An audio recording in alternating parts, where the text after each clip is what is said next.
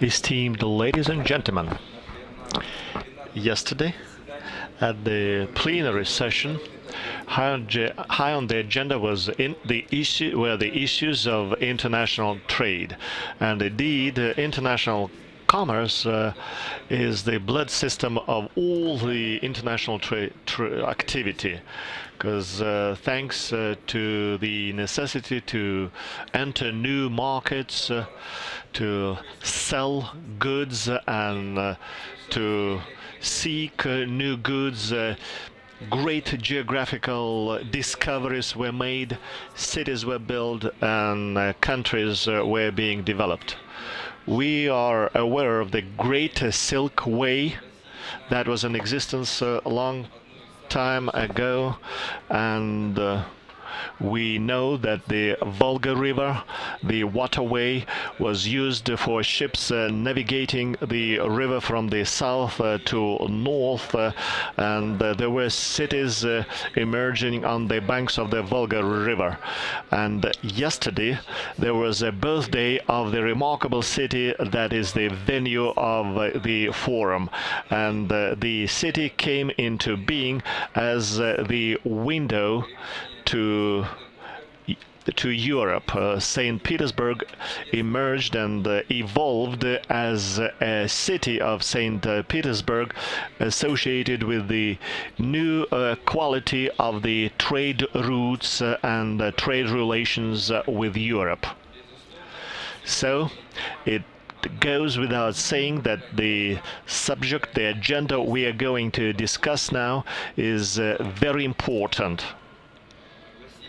allow me uh, as a moderator to announce uh, the uh, agenda and the order of the day 10 minutes uh, allocated to the speakers to be followed up by the discussion.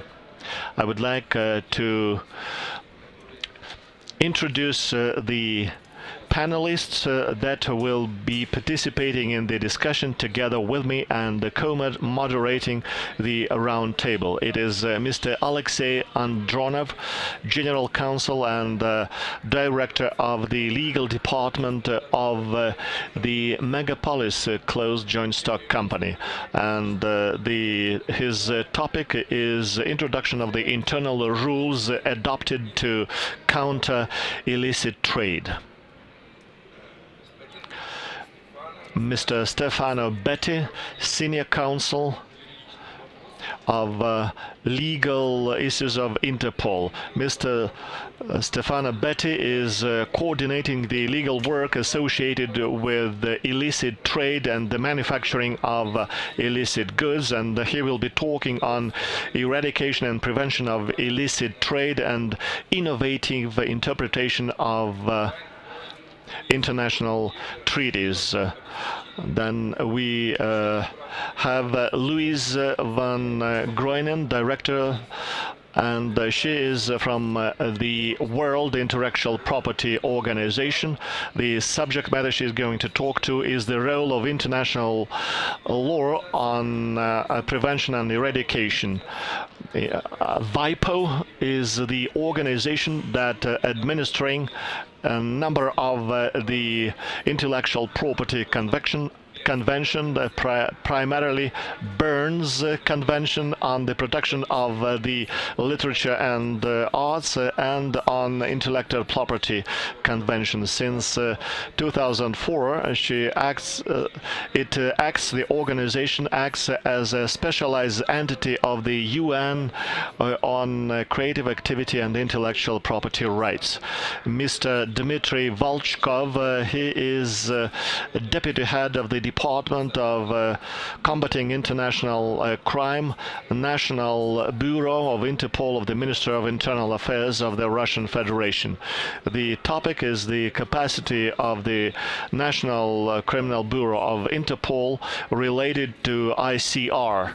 And uh, we have uh, Mr. Luigi uh, Estebano, and he is dealing with the institutional issues of Interpol related uh, to illicit uh, goods and uh, uh, laws and uh, the subject matter is the innovative approaches uh, to combating illicit trade and contemporary challenges. Mr.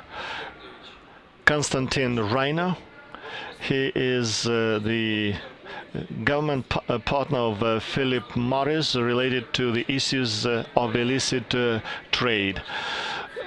The subject is illicit trade in tobacco products and uh, the major trends of uh, countering illicit trades of tobacco products. In my introduction address, uh, I would like uh, to say a few words on uh, the notion of illicit trade as it is interpreted by the international law. The internalization of uh, crime and the growth of uh, the number of offenses uh, that relate the interests of a number of the states and the ingenuity of uh, the uh, crime uh, calls for the states to interact and take joint measures to prevent illicit trade. Illicit trade concerns not only the individual states but the international community on the whole. It is uh, related to such things as illicit, illicit trade, black market, shadow economics, uh, and uh, it is uh, detrimental to the states uh, and uh, it uh, results of not only economic effects but social as well. And the it uh, is detrimental to the economic security of the state. Illicit trade is manifested in different uh, manners depending on uh, what are the tangible or non-tangible uh, products and the values are treated as goods.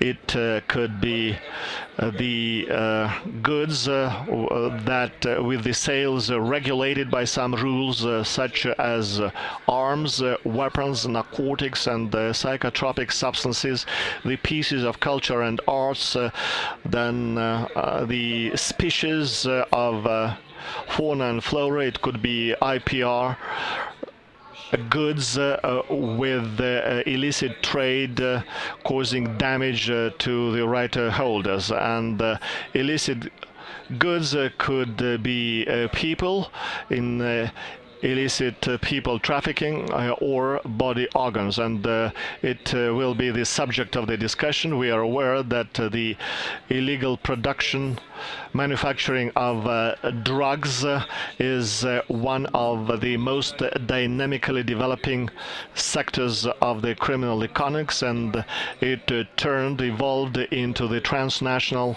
criminal industry with a lot of proceeds extracted from it. Some experts uh, claim that uh, it amounts to 8% of all the international trade and the most significant uh, agreements and contracts are such documents as uh, the Unified Convention on, of 1961 and the UN conventions uh, against the illicit trafficking of narcotic drugs and psychotropic substances of 1998 and uh, the amount of uh, proceeds the illegal arms trade is uh, second uh, to narcotic drugs uh, trafficking and uh, the differentiation between the uh, legal and illicit uh, traffic uh, is related to the end user and uh, quite important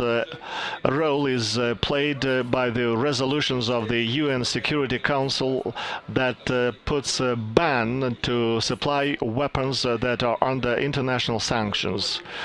The people trafficking is a uh, problem is uh, quite acute. It uh, includes uh, transportation of uh, illegal immigrants, uh, females for prostitutions and household help and kids for illegal adoption. And uh, in according to the data of the International Migration Organization, the proceeds uh, from the illegal people trafficking is 6 billion per year.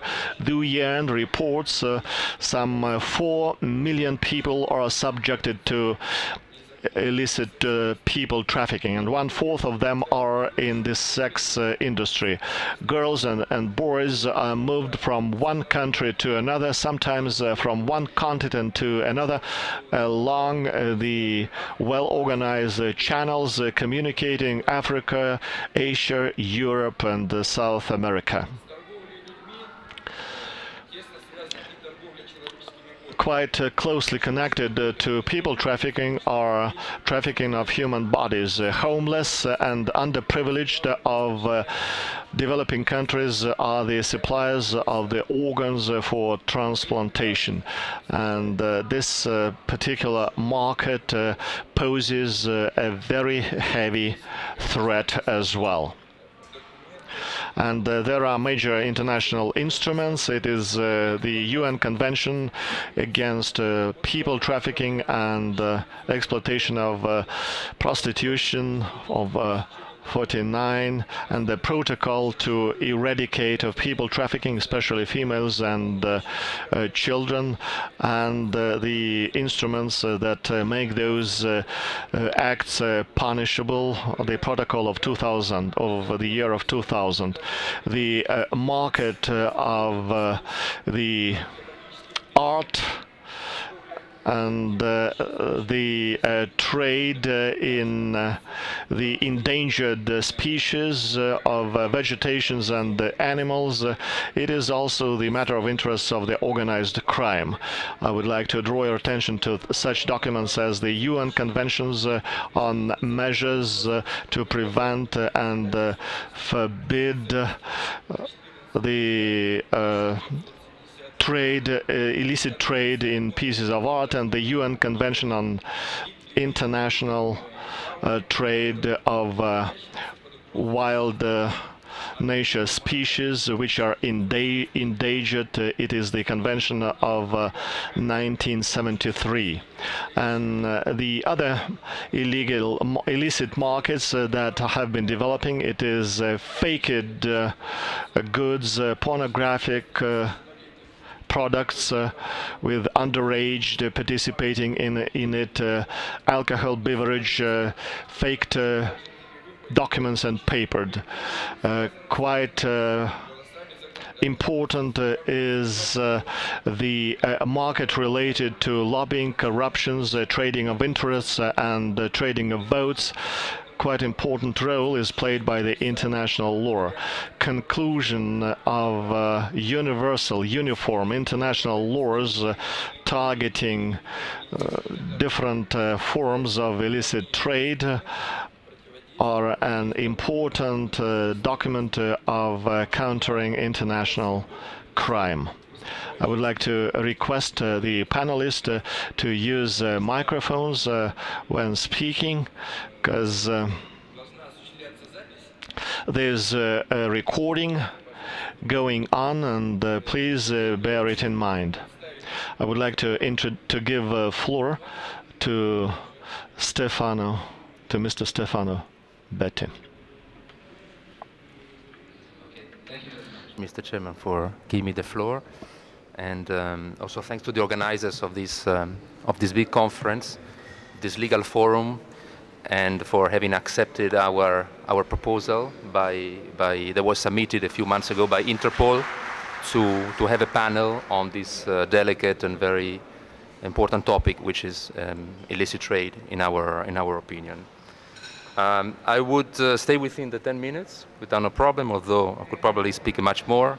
But I I would like just to give to give you our our perspective in a very succinct uh, in a succinct manner, and I would like to address two main issues in this uh, in this little time.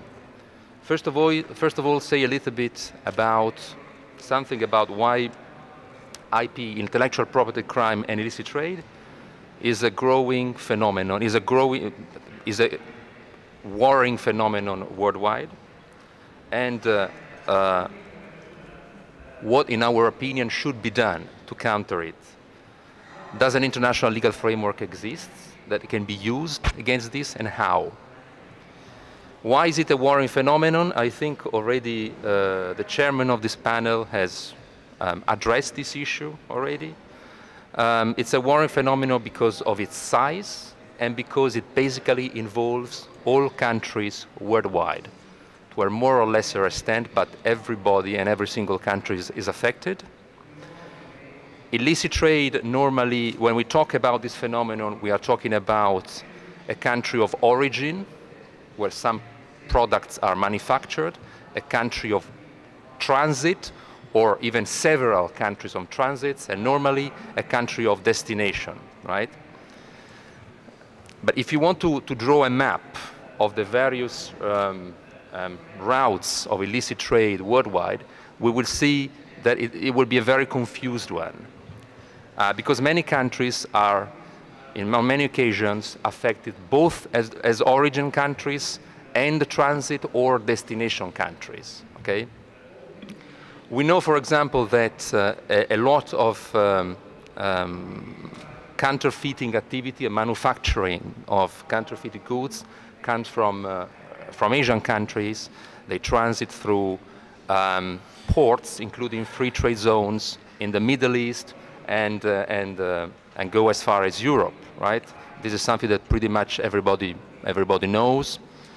Um, but there is also the other direction that is taking place, meaning there is a lot of smuggling, for instance, of natural resources and wildlife species taking place from Africa and going to the other, to the other direction, going to Asia as a destination country. It's a very complex phenomenon with, with various routes. Uh, the phenomenon is growing worldwide. I, I, could mention many, many figures. I will limit uh, myself to, to one just to give an idea. Just in uh, um, the, the, US, uh, the United States Customs, for example, have reported a 24% increase in the seizure of counterfeit goods between 2010 and 2011. This is, in our opinion, very significant. Um, this increase in the seizure of, of, of, of, counterfeit stuff may be in part due to a higher capacity by customs authorities to, to better detect suspicious consignments and to sign them, but it, in our opinion, it shows also that the, the, the sheer scale of manufacturing of uh, counterfeiting activities worldwide is growing, right?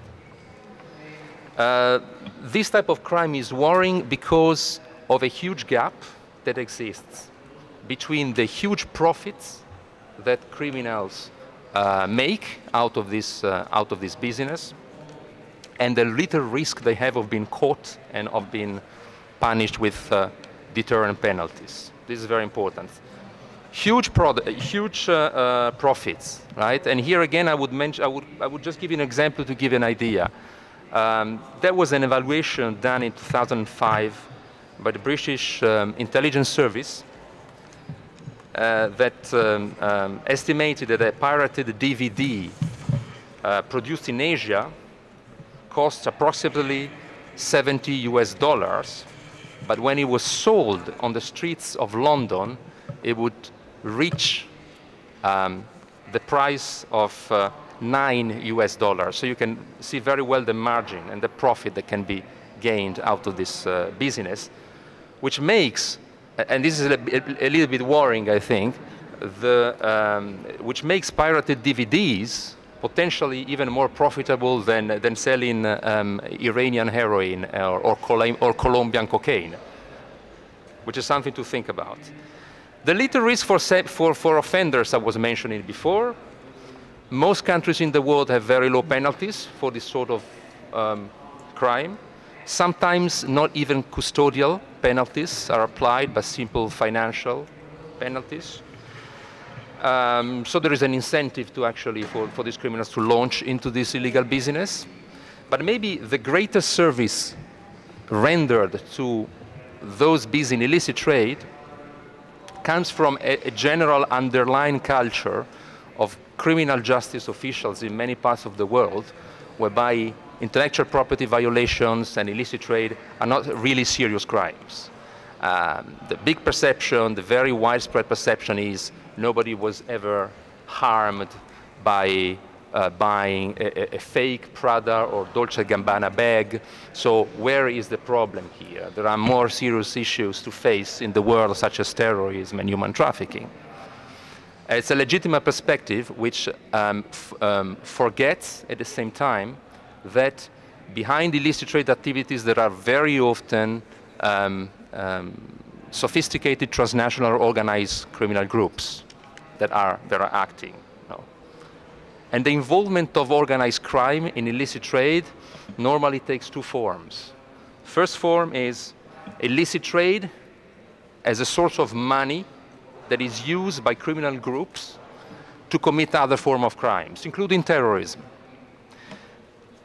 The other way around is also true, meaning money originated from other crimes that are invested into the manufacturing of illegal counterfeit uh, products.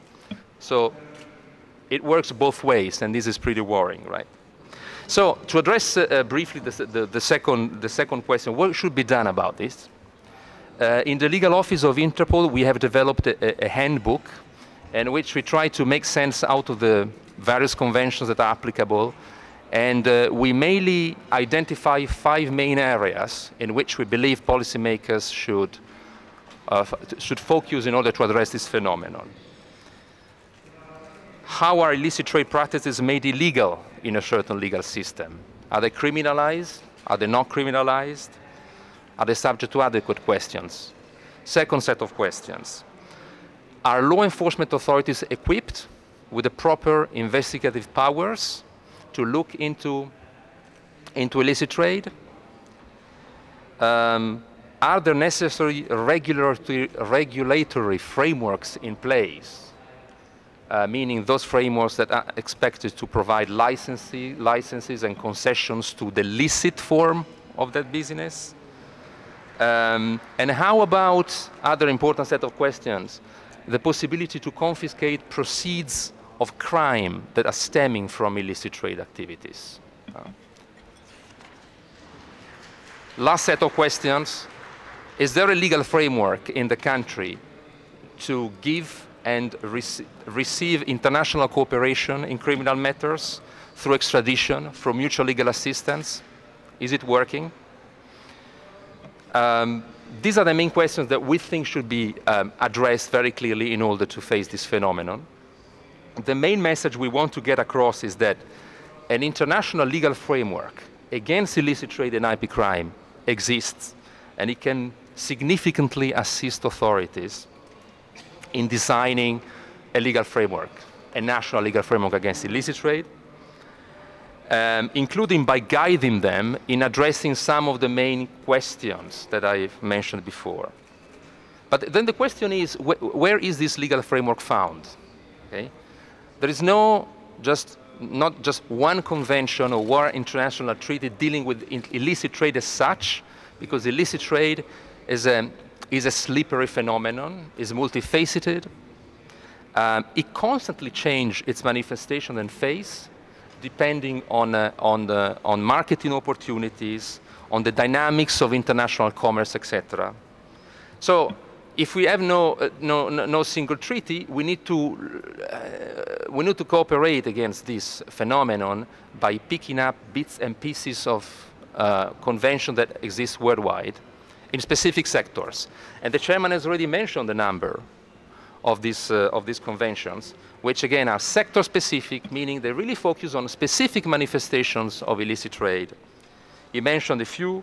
I would add, for instance, the uh, World Trade Organization um, agreement on trade-related aspects of international property, the TRIPS agreement, specifically on IP crime, um, the Convention on Illicit Import and Export of Cultural Objects, um, and a couple of conventions that uh, are potentially relevant, although they have not yet entered into force, which is the uh, WHO uh, Protocol on the Illicit Trade in Tobacco Products and the Council of Europe Convention dealing with illicit trade in, in, in pharmaceutical uh, products.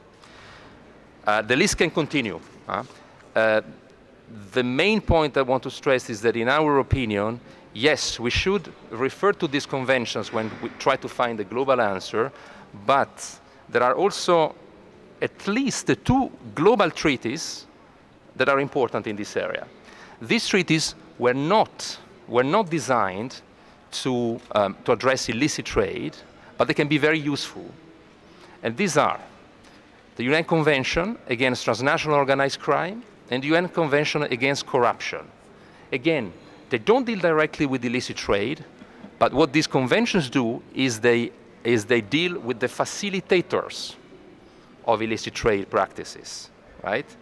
They deal with the basic conducts which make illicit trade possible, corruption, participation in an organized criminal group, or they make illicit trade profitable through, through, through money laundering and through obstruction of justice practices.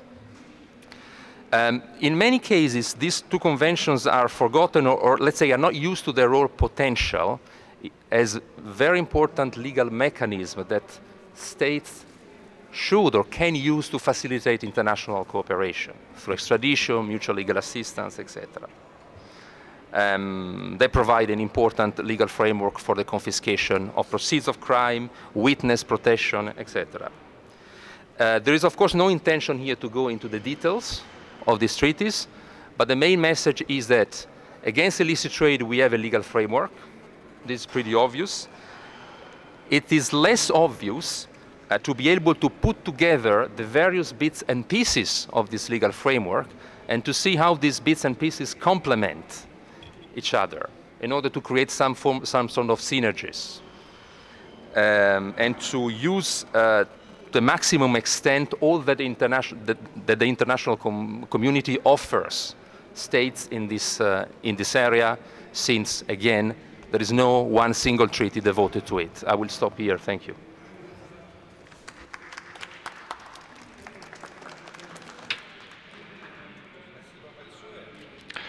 Thanks a lot. Thanks a lot. Indeed, the there are a great uh, number of uh, standards and laws uh, that uh, regulate international trade and uh, we are not limited by the agreements. Uh, only we realize that any international agreement should be implemented when concluded and uh, the agree uh, any agreement uh, is uh, being uh, included into the legislative uh, framework of the nations that have signed it. In Russia, the illicit trade is criminalized. Uh, there are clauses of criminal code, administrative code, and uh, a number of the issues uh, are addressed uh, by the civil code. I cannot list all the laws and bylaws uh, that have been enacted uh, those that are related to the illicit trade. But there are efforts uh, undertaken to combat it. I would like to give floor now to uh, our next speaker. And Ms. Uh, Louisa uh, van Greunen, and uh, I've uh, introduced uh, her, and uh, she's going to talk about the IPR.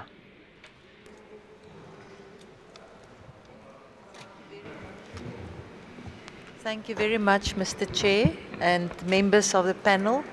It's really a pleasure to be here. I represent the World Intellectual Property Organization, so I will follow up from uh, Mr. Stefano Betti to talk a little bit of the problem relating to intellectual property crimes. Now, obviously, you may know that uh, WIPO is really the forum for intellectual property. We administer no less than 26 conventions, uh, not only the Berne, but the Paris Convention, and a whole number more relating to intellectual property. We also have 188 member states to the organization. And the mission of the organization is really to use the value and underscore the value of intellectual property for sustainable economic growth through creation and innovation. Um, the organization, the first convention was already 1883, so it's a rather old convention. And we joined the United Nations system um, a whole substantial number of years ago as a specialized agency. Just the other day, I was invited to talk at the um, telecom um, union in Geneva because they looked at the whole question of counterfeit, uh, counterfeit mobile devices. And in preparing for this presentation, I saw what you see on the screen, even websites warning consumers, because it seems that very often you buy your mobile, mobile device in a uh, official trading outlet and yet it is counterfeit. So it seems that this problem is really in all areas. I also noticed on the internet how blasé these uh, people are, the counterfeiters. Can you imagine that they offer, and it says explicitly, that they make high quality copies of the brands, and they mentioned Lotus, Ferrari. Now, if you buy your car on the internet, beware, it may be a fake. And as I said, it really relates to all industries. And what Stefano said is really true. It is really a growing phenomenon and of universal concern. He also made reference to the uh, TRIPS agreement, which is the agreement on trade related aspects of intellectual property rights. Now, you may know that um, our organization has a cooperation agreement with the World Trade Organization to implement this agreement. And my division specifically uh, deal with part three of the TRIPS agreement containing the enforcement provisions. So in this context, we work very closely with our colleagues from Interpol, WCO, the World Customs Organization, and other organizations. And in TRIPS, it's very clear that there should be civil remedies, and the objective is to deter the infringement of intellectual property rights. And of course, we have the criminal provisions, and I think it is very important to note that there should be penalties really to deter. And as Stefano said, this is not really the case in all the countries. We find that the risk is really low, the penalties are low, and yet, I repeat, the profits are extremely high. The whole ambition which we have in the organization, nonetheless, is to balance the private rights and the public interest. And when we look at private rights and we see the criminal law kicking in, it is purely because of the public interest. And I think once we understand the public interest, we would understand that these crimes are not purely uh, victimless crimes and would, will do no harm to um, the public at large. Gentleman is just standing in front of me. Uh, the public interest, of course, thank you very much. The public interest in protecting IP rights is really job creation, that is very important. Tax, customs, income, public health and safety, and that is a very, very important uh, element. And we find this more and more that goods are counterfeit that can really cause damage to health and safety the prevention of corruption and organized crime, which was already stated, and of course, foreign investment and invest, uh, investor confidence. Can you imagine that the investor will take his money to a country where there is not a legal framework in place to assist him against the infringement and criminal infringement of his intellect, intellectual property rights? And of course, also international trade relations. Of course, we can get sanctions against our countries if we do not comply with these provisions. Um, it was already mentioned that the infringement of intellectual property rights is really a global problem, targeting all industries from low quality to high quality goods. And that is really a problem. It's the sophistication now of infringing goods, which make it really difficult even for the right holders to distinguish these goods. Um, we, on the other hand, have to look at socio-economic factors. And so often we hear, but you know, we don't have money, the original goods are expensive, we don't have access to them, they're not available. Very often, law enforcement would tell us, why on earth should we protect the rights of companies that do not even invest in our countries? So there is that component as well, which we have to take into account. And we have to strike a balance. Uh, in most other countries, we have systemic problems. Courts are overburdened. We feel that the judiciary is not properly qualified to deal with intellectual property cases.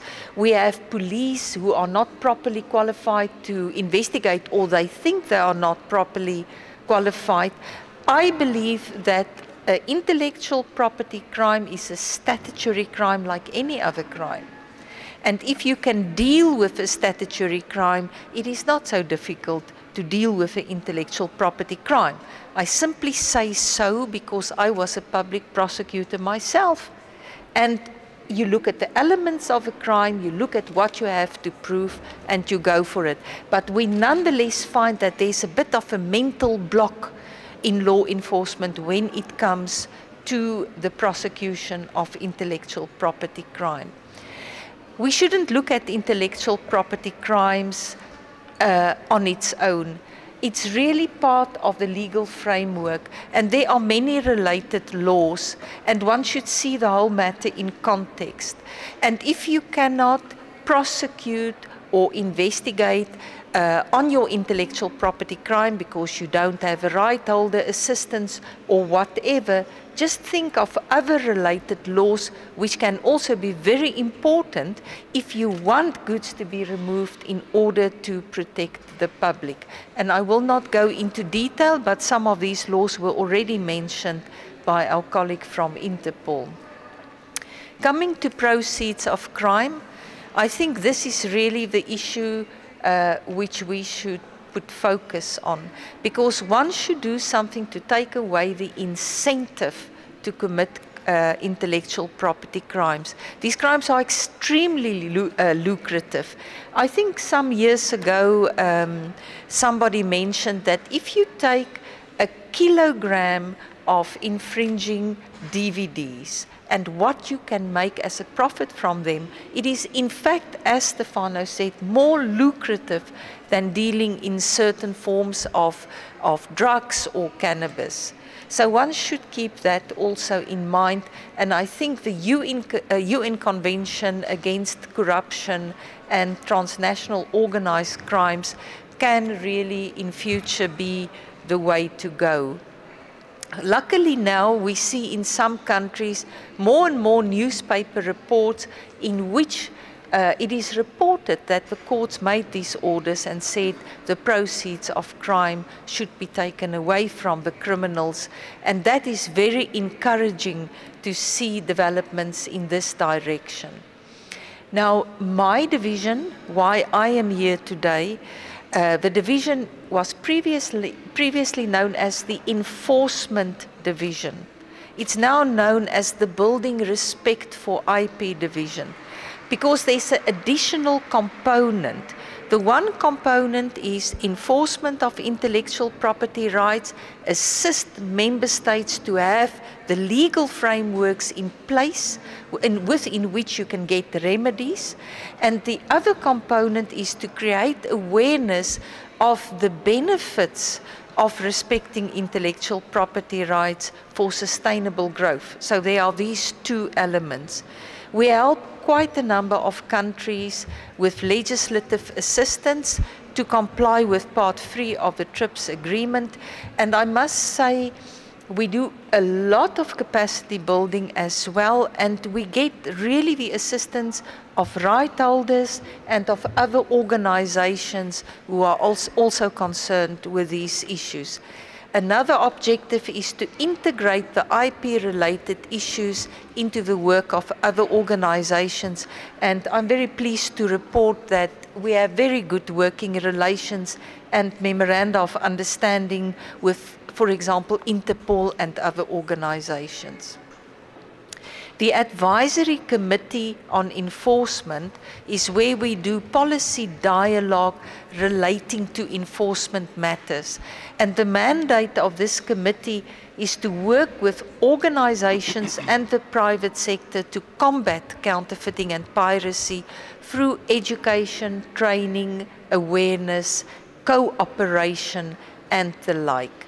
And you may know that we are in close cooperation with Interpol, World Customs Organization and the private sector to do global congresses on combating counterfeiting and piracy. The next one will be hosted by Interpol. We don't know when. Another organization we work quite closely with is the United Nations Environmental Programme. We cannot today make fires anymore of all these mountains and mountains of infringing goods. There should be other ways, and that is what we should explore.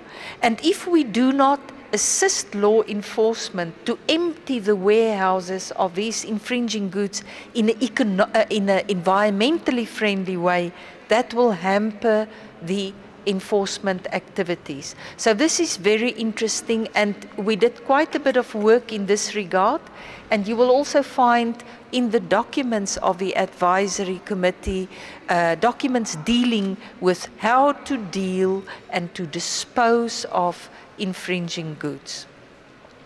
I give you some facts and figures. We work in all the countries around the globe, Africa, Asia, Pacific, Caribbean. We train law enforcement officials and, of course, the judiciary. Some just some statistics for you. We have very good uh, assistance from the right holders, companies like Unilever and others, where we can really see that law enforcement officials understand that these goods have really penetrated our houses and our lives, and we should do something about it. We have experts to help us, and we really make our um, participants work, and we want them to understand that it is in their capacity to deal with intellectual property issues. We also have the WIPO case books. We have it now in English, in Arabic, in Spanish, and French. So that is available online. You can just download it for free or you can order the copy from us. Um, we are ready to assist the Russian speaking countries to develop a casebook which can be useful uh, in intellectual property matters. We do a lot of awareness.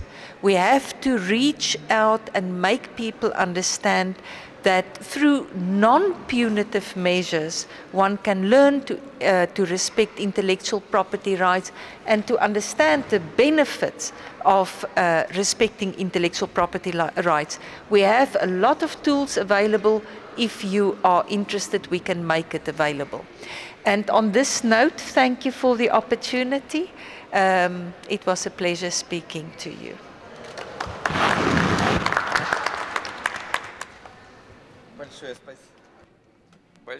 Thank you very much, uh, Ms. Van Greunen. We, uh, the speakers uh, who wanted to talk about intellectual property, they have done their intellectual work with slides and everything. And I'm um, handing over the floor to a representative of our uh, um, uh, Interpol Bureau, uh, who's been very active in and has been recognized all uh, all over the world, and uh, as an act of this um, recognition. um, was uh, uh, Alexander Prokopchuk being elected as one of the senior officials of Interpol. And I give the floor to Dmitry Volchkov. I have already uh, presented him. And he'll talk about uh, how Russian Interpol Bureau is able to uh, counter um, crime in uh, intellectual property area. I'll uh, tell you what our Russian Interpol Bureau is doing uh, when countering uh, uh, counterfeit crimes. Uh, according to the Interpol uh, experts' estimate, estimations, uh, the majority of intellectual uh, property crimes uh, has to do with piracy, uh, with pharmaceuticals, tobacco, audio and video discs, and various products like children's clothes, electronics, clocks. Uh, uh, the uh, falsified goods market is uh, almost as profitable, holds the third place in profitability after arms trade and narcotics trade. Uh, in uh, in various countries, destination con in uh, supply countries and mediator countries would often assist in packaging, for example, and those organized criminal organization would prepare all the documents and provide the supply. And special companies are created to do money laundering uh, counterfeited documents are being produced and uh, uh, very often, well, it, it is one of the most uh, common ways of the criminals. Internet has become the most popular medium of supplying counterfeit produce. Uh, illicit and counterfeit goods are a real threat to economical uh, security of Russia. I'm talking about uh, major manufacturers. The losses uh, the, uh, the losses amount to billions of dollars a year.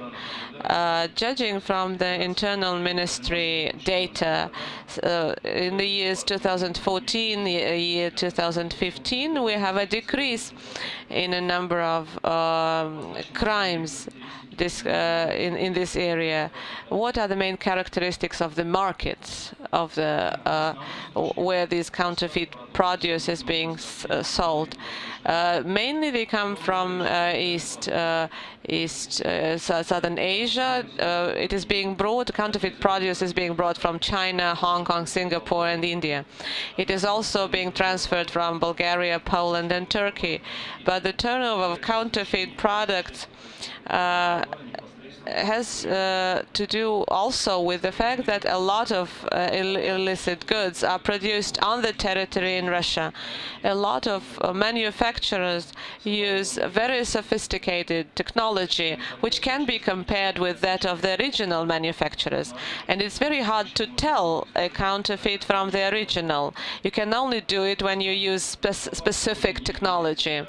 And high price does not guarantee uh, the buyer that he is buying an original item. Uh, they can also be, uh, the illicit goods can also be produced at legal factories during night shifts.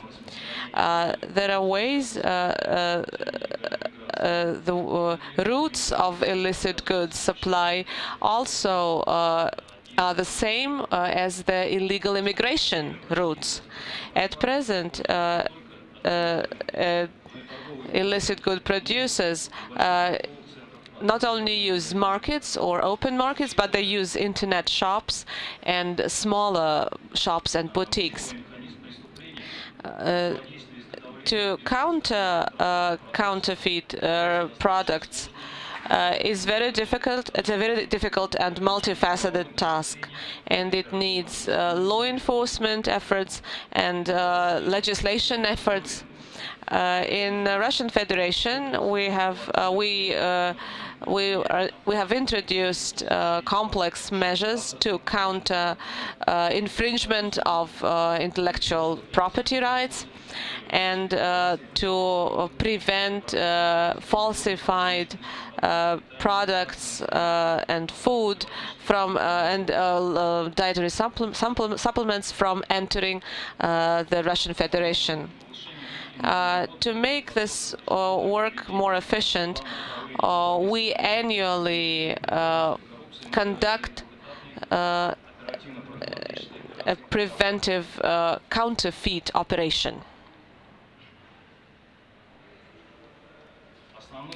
Uh, its major objective is to counter infringement of uh, um, uh, intellectual property rights, to counter illegal production and uh, illegal turnover of uh, pharmaceuticals, of clothes and uh, various other goods. As a result, in 2014, uh, uh, we have managed to discover the damages. Uh, most often, uh, criminals would counterfeit children's toys, uh, perfume and cosmetics, alcohol products, butter, oil, tinned goods. Well, to illustrate, I'll give you a, uh, an example, a case. Um, uh, when a group of people tried to uh, to sell counterfeit mineral water uh, under Borjomi trademark, and uh, the number uh, of the bottles was amounted to 30 4,000 bottles. And they were all labeled as Borjomi water. And after uh, uh, the warehouses were searched, the uh, law enforcement officers found counterfeit uh, products and equipment to produce this this water. As a result, the brand holder suffered damages which amounted to 9 million rubles. Uh, I don't think I need to prove uh, and to explain that uh, alcohol, uh, illicit alcohol goods can be even more dangerous. Just a small example, a tragedy uh, which took place in Turkey in 2011 when Russian tourists uh, drank counterfeit whiskey when taking a yacht trip. And uh, Russian Interpol Bureau uh, organized investigation, uh, cooperating with our Turkish partners to ensure fast uh, transfer of documents. Uh, we um, sent over legal aid uh, documents and we received uh, important information uh, for the investigation from the Turkish authorities. And according to uh, the information we received through Interpol uh, channels, uh, Turkish law enforcement and legal authorities informed us that uh, the case has been treated and uh, the those uh, the criminals were charged and uh, treated uh, the, the case was treated in court uh, national borders do not prevent illicit and counterfeit goods from traveling from one country to another. And in this sense, uh, co cooperation between police authorities uh, becomes very important. And Russian Interpol Bureau uh, supports the initiative uh, proposed by the General Secretary um, Office of Interpol in this respect. At present, uh, we've, uh, we're exchanging information using Interpol uh, channels with uh, uh, informing each other uh, in, and informing international and foreign right holders about the damages they might be suffering in other countries. informing them of the activities of criminal activities during uh, their visit uh, to Czech Republic, uh, Russian uh, uh, representatives of the Russian Interpol, um, Inter Interpol Bureau, uh, when discussing the Opson 4 operation and meeting their Interpol colleagues, we discussed, we suggested that Opson and counterfeit operations could be carried out simultaneously, countering and preventing um, turnover of illicit goods in both countries. Uh, dear colleagues, as you could see from my speech, the share of counterfeit and illicit goods is growing and uh, they're becoming uh, more and more varied uh, from food to drugs and uh, various goods. And we're concerned with the spread of uh, counterfeit uh, drugs, especially on internet. It is uh, their presence on internet, it is their distribution via internet um, ensures higher profits, high revenues, and minimizes the risks for the criminals. World Health Organization studies uh, illicit drugs market, and uh, it is antibi antibiotics which are being counterfeited, uh, and uh, they are maybe the major um, uh, analgesics uh, these counterfeit drugs come to Russia from India and China, and uh, the certificates are even issued in Russia itself. Uh, and I don't need to uh, tell you about the threats uh, these illicit drugs pose to uh, to people. We need to create an efficient legal base to counter this threat. Starting from 19, uh, 2009, uh, Russian Interpol Bureau has been an active participant in the uh, in the Interpol measures, um, like Pangea operation. Starting from 2009, we've uh, gone through seven stages of this operation, and more and more Interpol member states are taking part in this operation, which uh, proves that uh, the states are eager and ready to participate in this fight uh, international community is leading against falsified and illicit drugs. Uh, Pangea operation discovers internet websites selling illicit drugs, uh, detects their suppliers, and extracts them.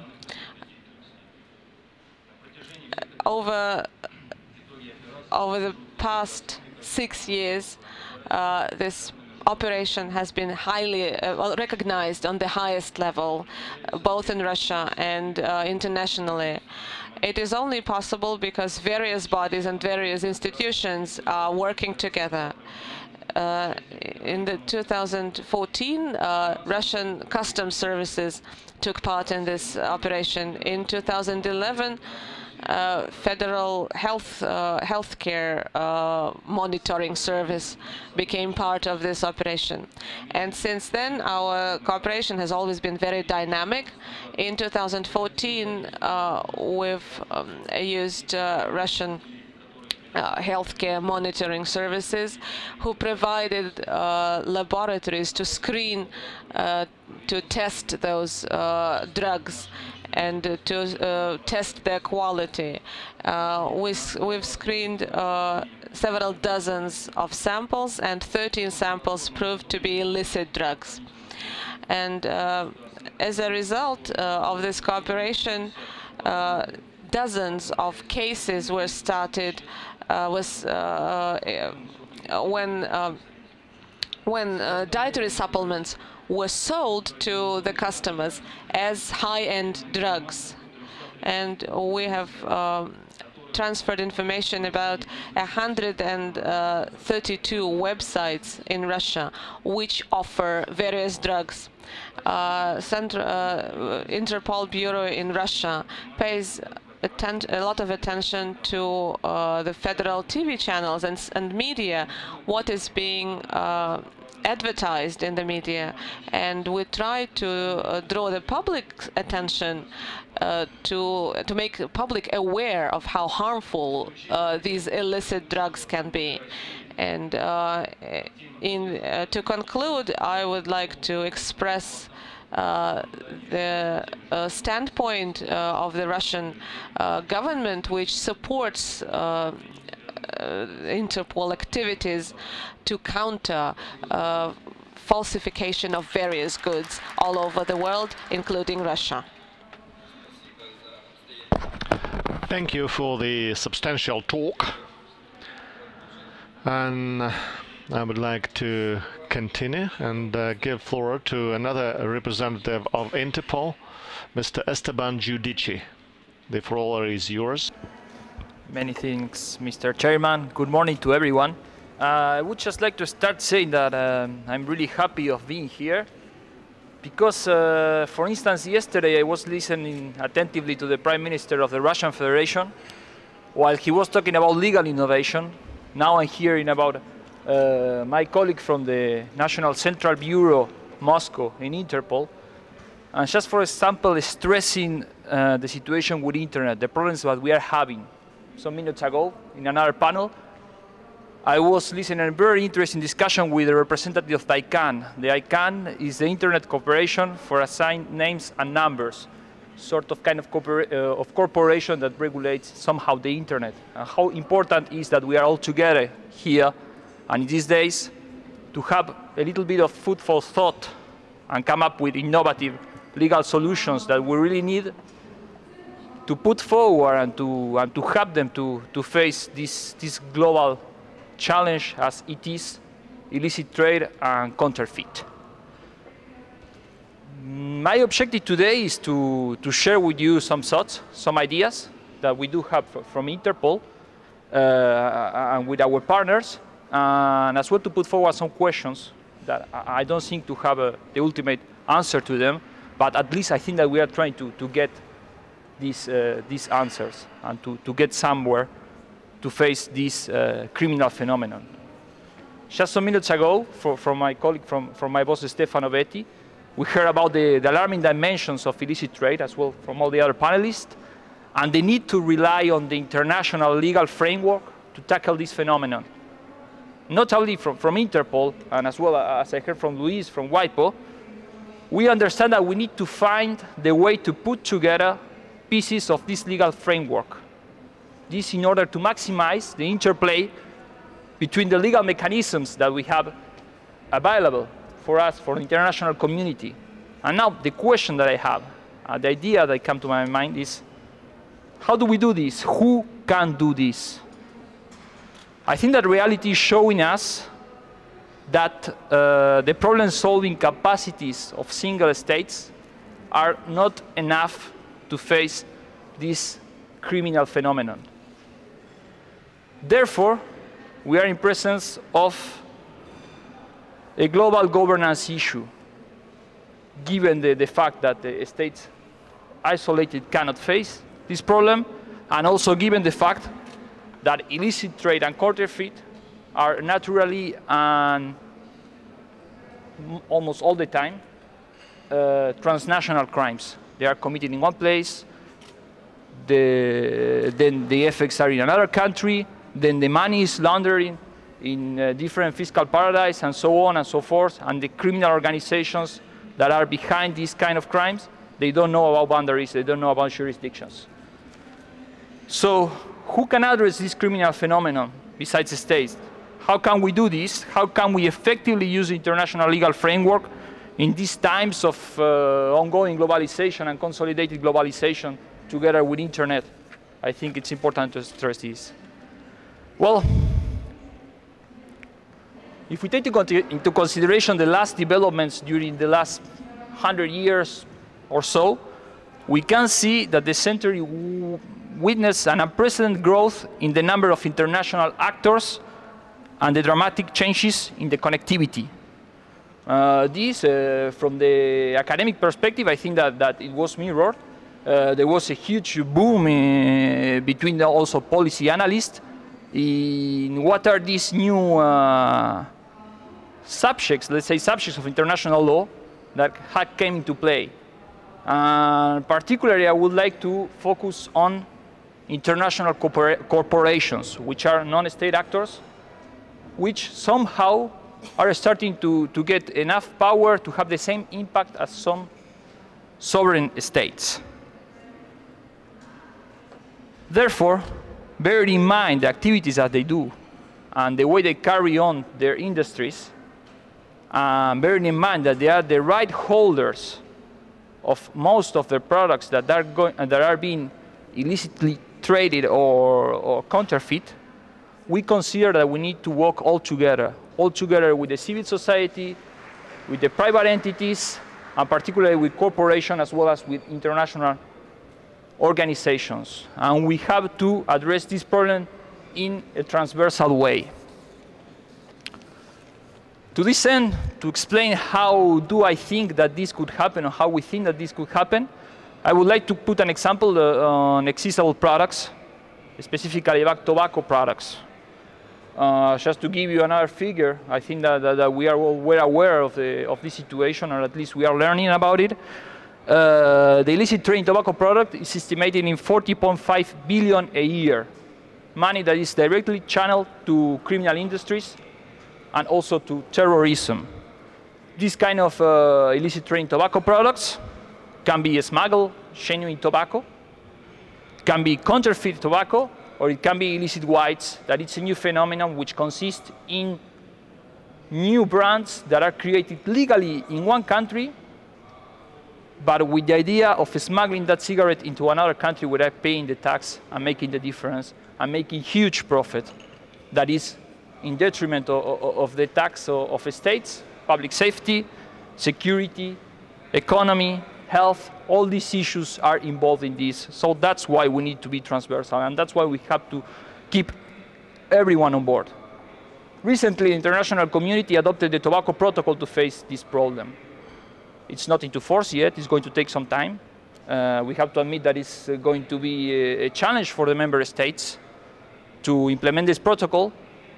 But what I think is important, linked to what I was saying of working with corporations, with corporations, international corporations, and this type of non-state actors, is that the heart of this protocol is focused in securing the supply chain with a licensing regime, with due diligence, track and trace, and record keeping.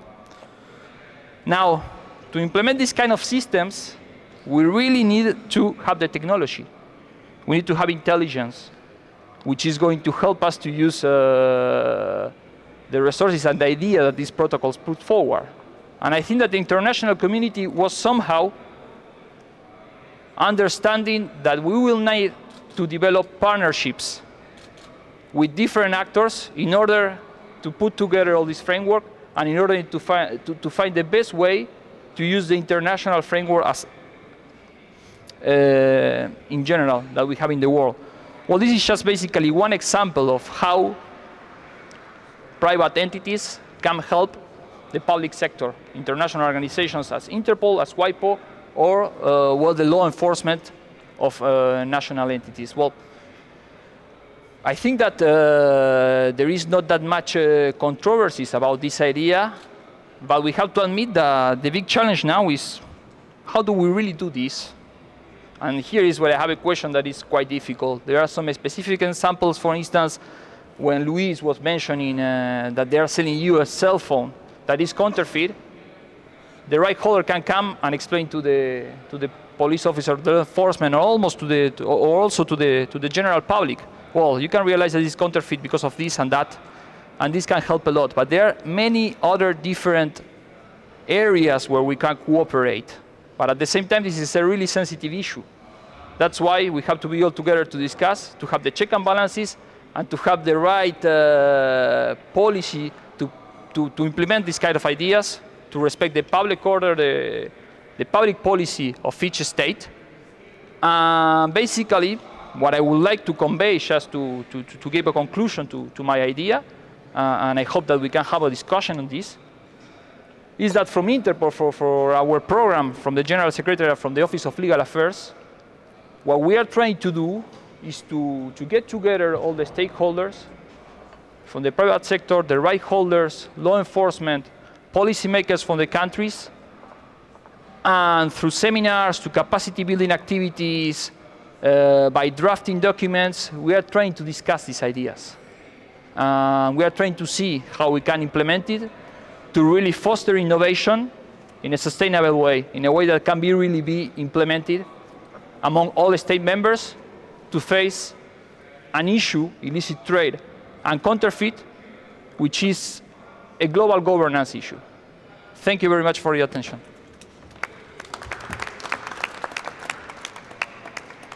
Спасибо большое, Господин Ждичи, особенно за то, что вы э, подняли вопрос о необходимости подготовки универсального документа, э, поскольку мы действительно...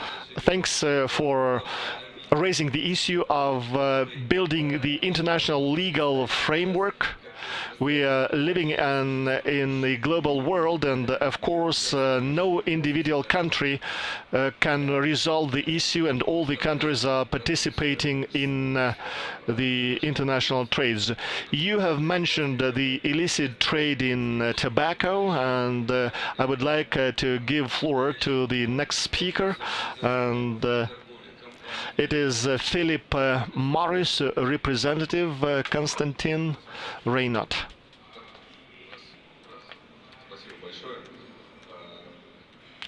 Thanks a lot. The previous speaker, the previous speakers have been referring to the international cooperation and the efficiency to counter illicit trade and the example of uh, tobacco industry is uh, quite illustrative indeed to strengthen that uh, kind of uh, cooperation since uh, the uh, problem of illicit, illicit trade is of global nature indeed. Production supply of components, uh, feedstock, raw materials, uh, equipment, uh, and the sales of the counterfeit products are arranged uh, by organized uh, crime, international, uh, that and consequently the necessity of uh, different law enforcement uh, entities in uh, cooperation together with the private sector and business cooperation manufacturers of the tobacco products is getting more important now than ever before. If we analyze the situation in Russia, with respect to the illicit trade, it is as follows. In the early noughties, 2000, the year 2000, uh, there was no problem of illicit uh, tobacco trade. The counterfeit products were not there, and the main uh, problem was uh, illegal uh, uh, export of uh, products uh, to the countries of EU and our colleagues from uh, Interpol are only too well aware of, of it and uh, we have been uh, cooperating in this uh, area to minimize and mitigate the effects of illegal flows of tobacco products from Russia to EU. However, starting from 2013 there was a drastic growth and it of excise and uh, the excise uh, were increased and uh, it uh, affected uh, the retail price uh, of the tobacco that the consumers can buy. And it was one of the drivers one of the catalysts of the growth of illegal trade and the availability of illicit tobacco products at, in Russia. What we witness now we cannot say that the situation is uh, awful, that there's a greater number or a greater volume of counterfeit uh, product uh, in uh, Russia. However, we are very much uh, concerned with the prevailing trend which uh, has emerged. It is uh, the continuous growth uh, in the scope of the illicit tobacco, and uh, it is uh, some 15% annually. And if the trend is preserved just like that for the next five years, given there are no vigorous measures undertaken by the state uh, to counter this uh, trend, then I'm afraid that uh, we will have a level of counterfeit uh, products uh, similar to what we have in the neighboring countries. Uh, some of them are members of the EU. I mean the Baltic countries, Latvia, Lithuania, Estonia. But uh, taking into account uh, the uh, scope of the market of Russia, the absolute figures will be great and it would be great losses for business and uh, for the state as well, because it will be the loss of uh, budget uh, proceeds from the point of view of the consumers. And there, there are studies performed and if uh, the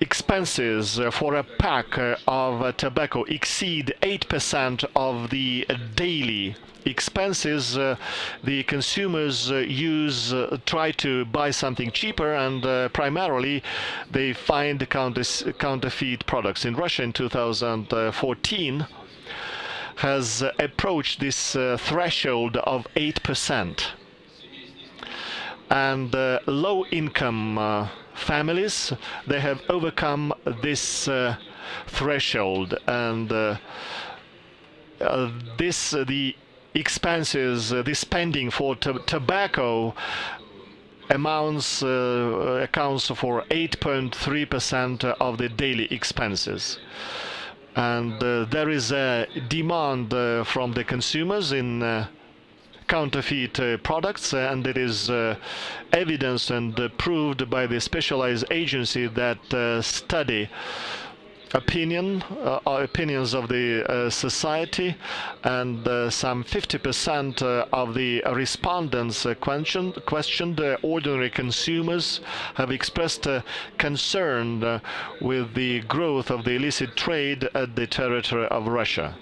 And they expressed uh, what are their expectations uh, of uh, the actions to be undertaken by the government to counter this phenomenon.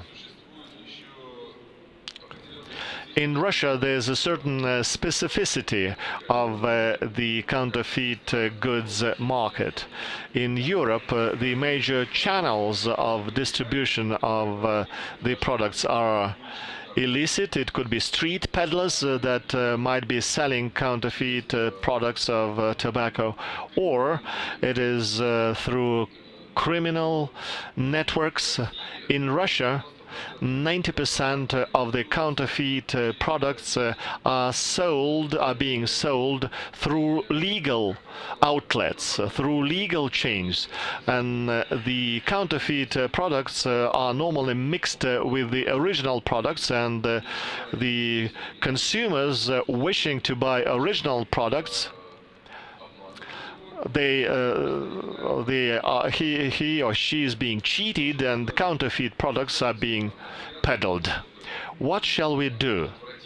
In uh, my opinion, uh, to prevent uh, the further growth uh, of uh, the illicit trade in Russia, as I have said, the problem hasn't got any one separate solution that could eradicate uh, uh, illegal products, illicit products, counterfeit products.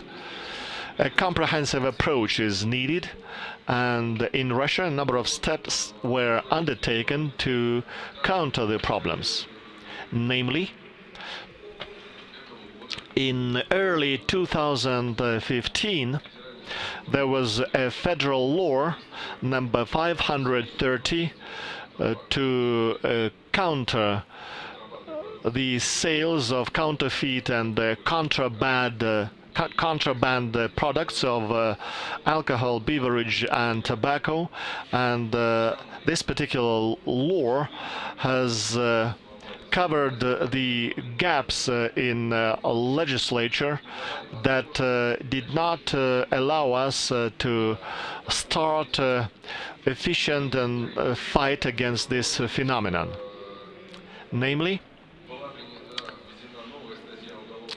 there was uh, a new article of the criminal code. It is Article 200, uh, which is uh, related uh, to the contraband of uh, tobacco and uh, alcohol. So, illicit trade in tobacco and alcohol is criminalized again and it provides uh, quite efficient uh, leverage uh, for the law enforcement agencies and customs officials to eradicate uh, the input uh, of uh, smuggled products into Russia.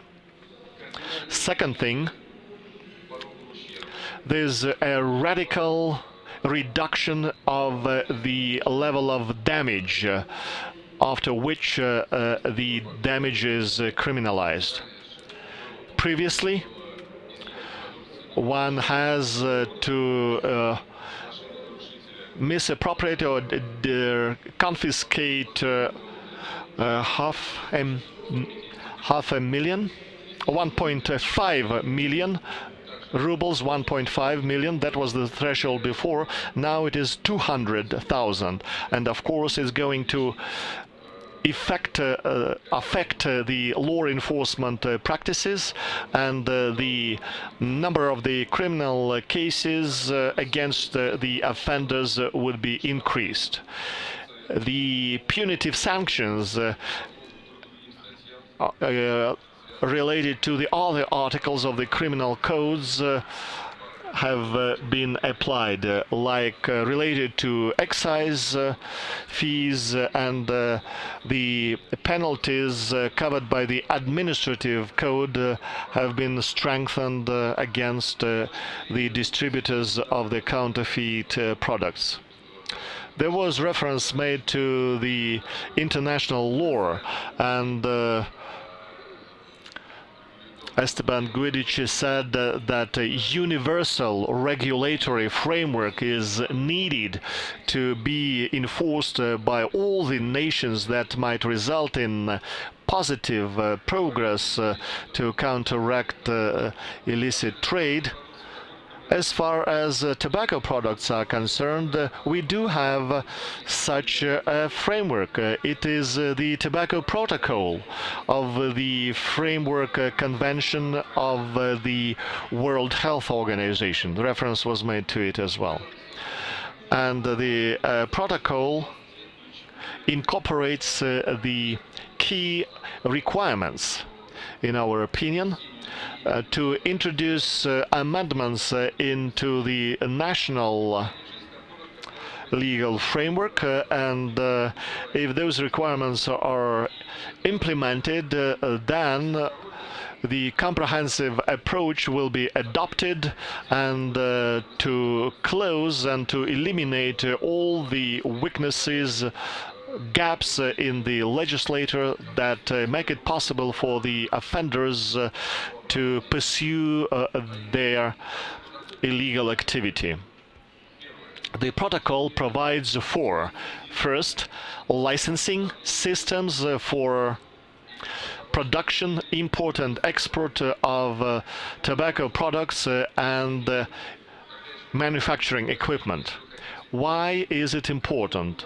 For example, in Russia, if you want to bring in uh, ready uh, products, uh, you can do that uh, through uh, Если же вы customs only. If you want to uh, bring in uh, tobacco uh, raw materials for tobacco production or equipment production lines, you can do it uh, through any uh, customs office or customs uh, point. Nobody will ask you uh, for any licenses or any documents. Nobody would ask you why you're doing this.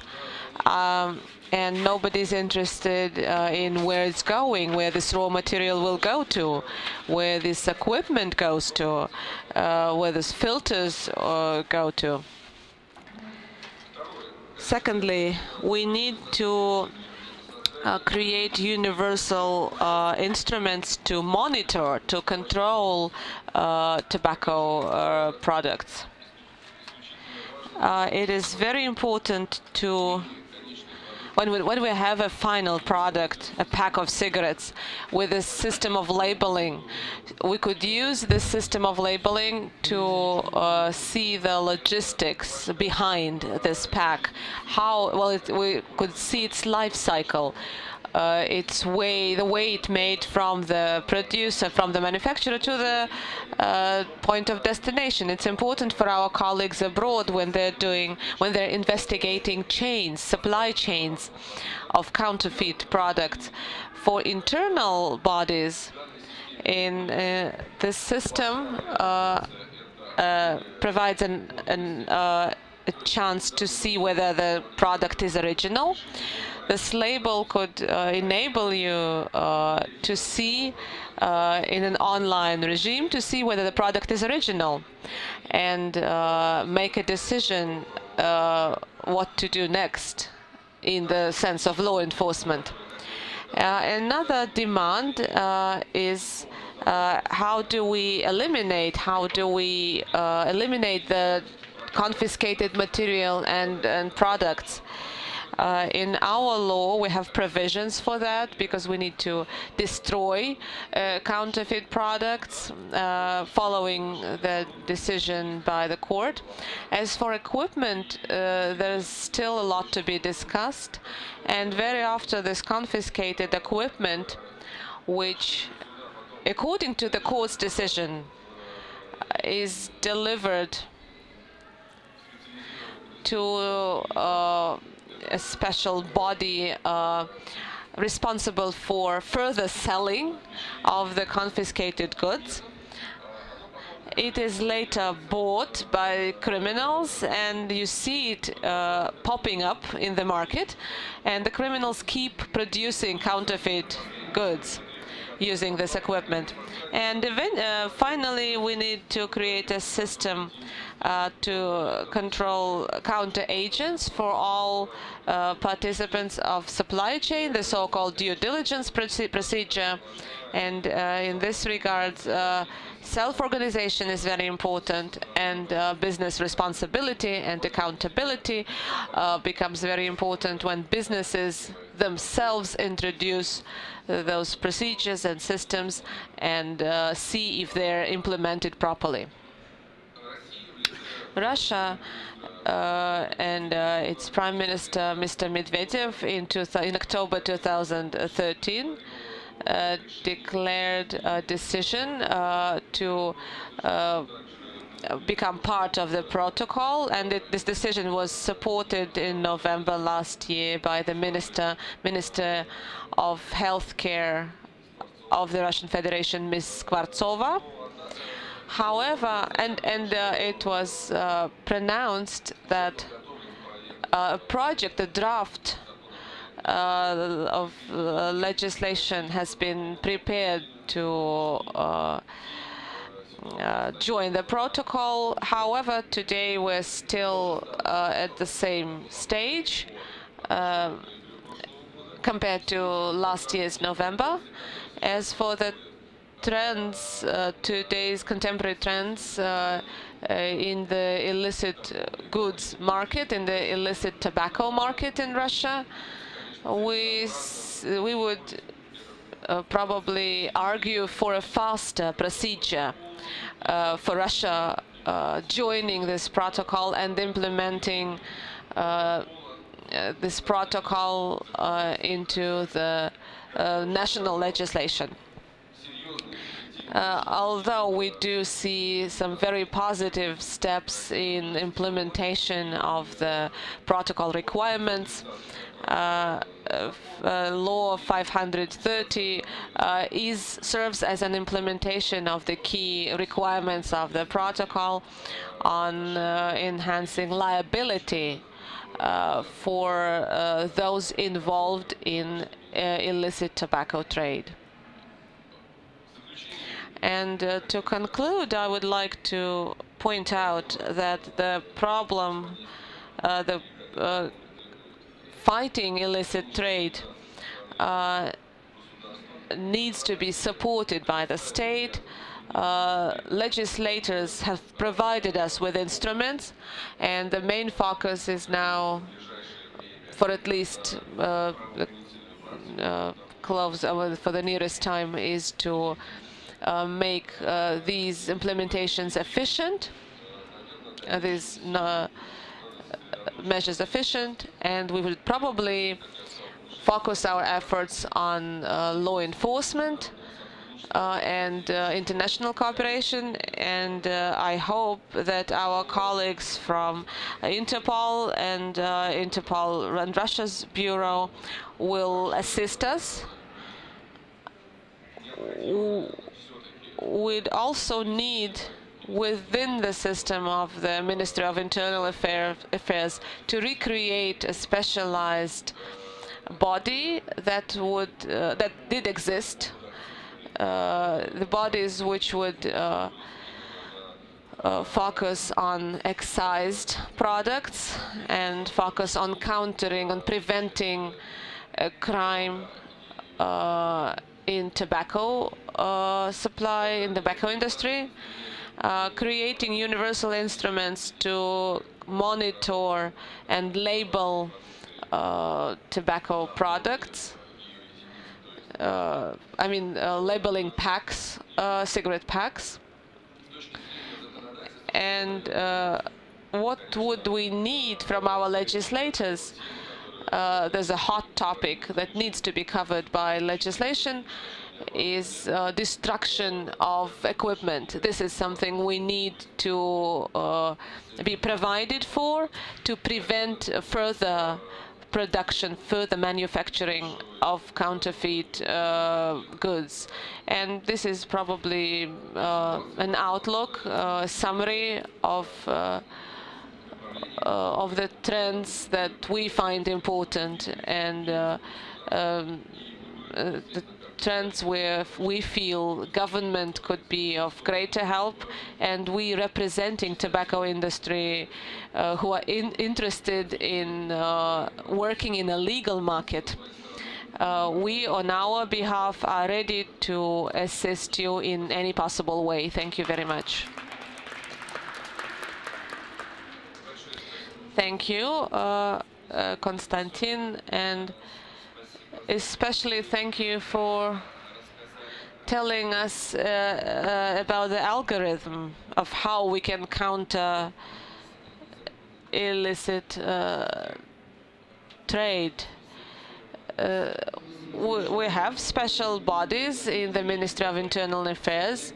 It's a department on uh, economic crimes, and these bodies, these departments, employ uh, experts who uh, fight uh, counterfeit goods, uh, alcohol produce, and uh, illicit alcohol uh, uh, produce. there's no amendment, need, no need for amendments. We are working on it. We already have these bodies. And I would like to give the floor to Alexei Andronov, uh, who is uh, the uh, head uh, of the legal department of Megapolis company. I would like to thank Alexander Gennadievich for bringing me, me here, and it's it's a great honor. And it's uh, I've, I have a general to my right for the first time in my life sitting next to me uh, we are now uh, we're, we're, living. I mean, we're standing uh, our feet on the ground. We sell uh, products manufactured by the companies, and among our shareholders we have JTI and Philip Morris, and uh, um, and we are. Uh, we have certain liabilities, we have certain obligations illicit trade uh, is damages to the state because a huge share, I mean, if you take a cigarette pack, uh, a lot of its price uh, is excise. So if it is produced illegally, the state has not received anything. Uh, it is damages to the manufacturer and uh, for us because we sell it. Uh, as I was taught in the university, uh, it is to sell the product that is important, not to manufacture it. If nobody uh, needs it, why why do you do this? I mean, changes in legislation and uh, enhancing liability for illicit trade uh, in uh, tobacco trade did uh, attract uh, attention of the law enforcement orders, bodies. Police finds these cases more interesting. Uh, they uh, they bring these cases, they investigate them, they bring them to courts. I wouldn't say there are many cases of this kind, uh, but still it is developing rather fast. If we find uh, in retail or with wholesale uh, suppliers, if we find counterfeit uh, uh products, we coordinate our actions with the supplier we uh, test the products and we interact with the law enforcement bodies because we need to investigate a case if, if it comes up. And uh, the responsibility and account and, and the uh, the criminals should be liable.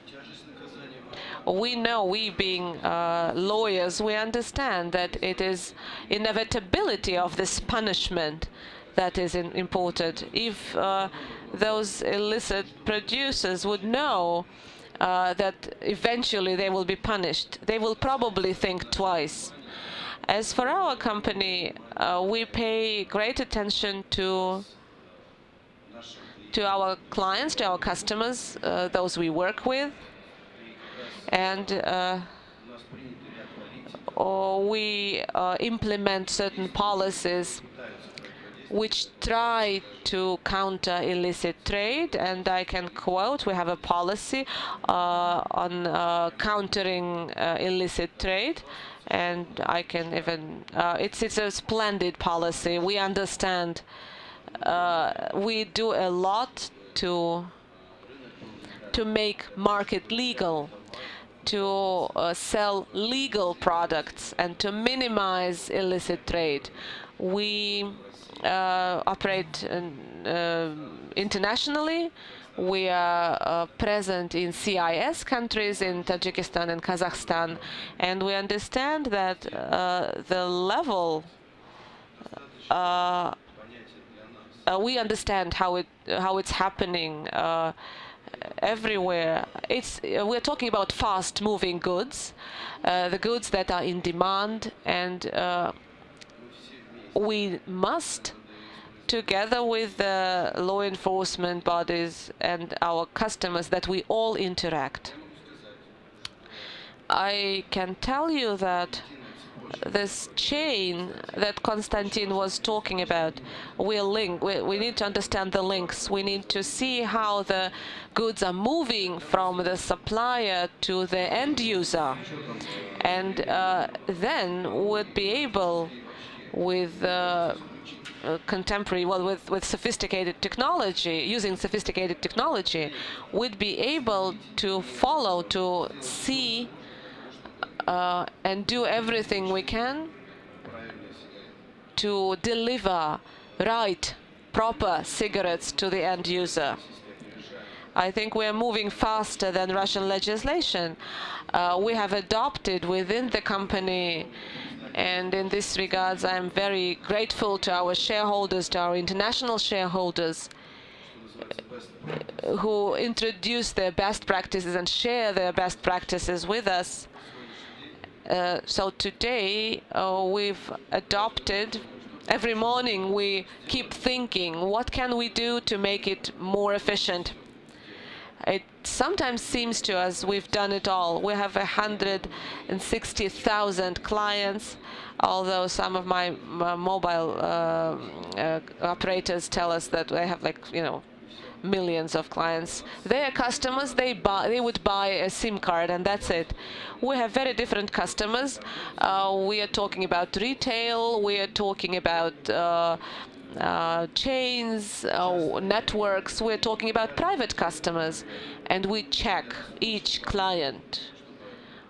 We uh, find it important to have a client that would adhere to uh, uh, to all our policies, that would comply with our policies. We have uh, obligations, we have liabilities against our suppliers. We cannot sell illicit goods to a legal seller. If we are uncertain about our client, about our customer, we do our best to stop uh, this um, uh, this interaction. We get uh, complaints uh, and people file complaints to the anti-monopoly service and uh, these complaints are being reviewed thoroughly. But judging from our experience, every time we break relations with, uh, we stop relations with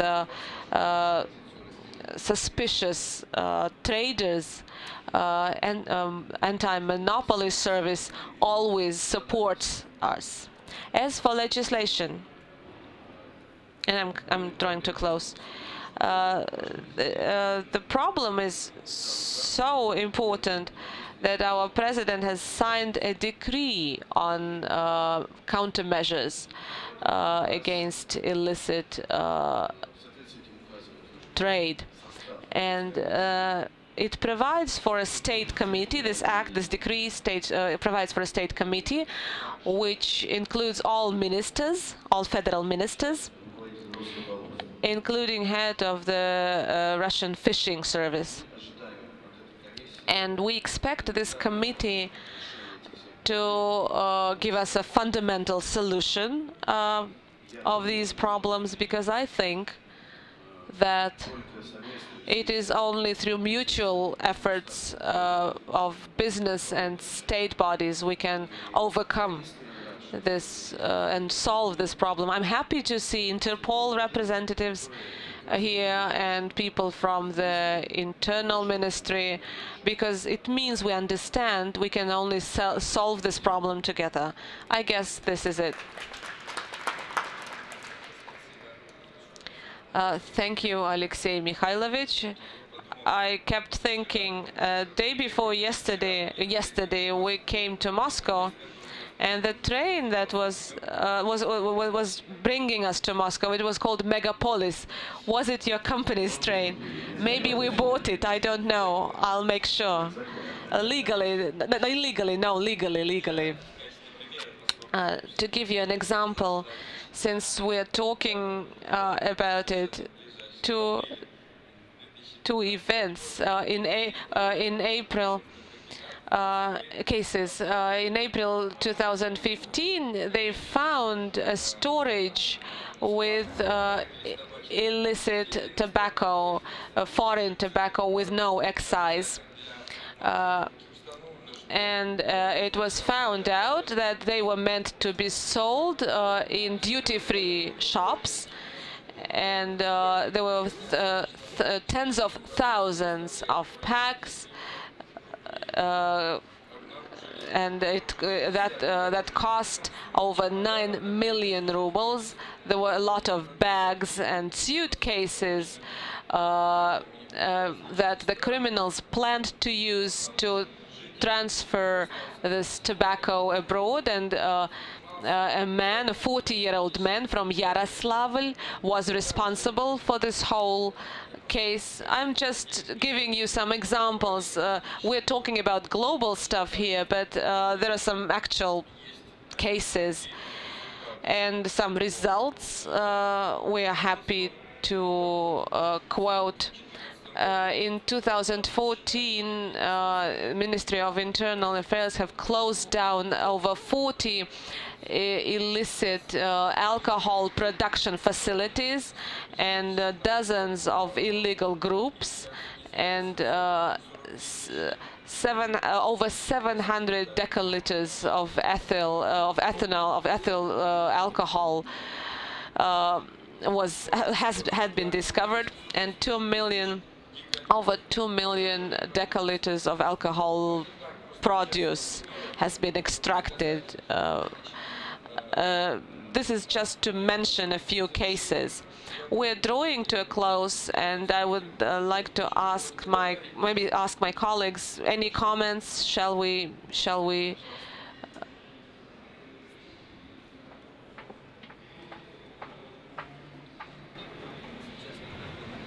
At the mic, they will bring the mic. And I have a question to Mr. St Stefana. Yep. Uh, thank you very much for the interesting presentation. Uh, and um, I found the comment that you made uh, whether there is a real damage to the uh, production companies from the counterfeiting goods is very relevant. Uh, so I have two questions. One, um, do you think there is a damage uh, of the, for instance, pharma companies or fashion companies or tobacco companies? do they suffer real damages? uh, from the fact that goods that are illegally produced under their brands are sold, for instance, on the territory of the European Union? That's the question number one. And the question number two, uh, is there a request from these companies uh, for uh, to Interpol to investigate these matters and to uh, stop this illegal trade? For instance, is there a request from fashion industry? Is there a request from pharma industry? Thank you very much.